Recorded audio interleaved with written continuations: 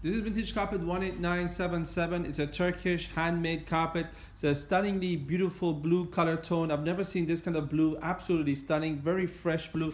Let me see if I take the camera right close in. You can, yes, you can really see the exact blue of the carpet. Very exciting blue. This is a very unusual size as well to find long for the size of this narrow carpet. The carpet is in a very good condition. The lines are not perfectly well, and a little bit here swerves as well, but very acceptable limits for a handmade carpet.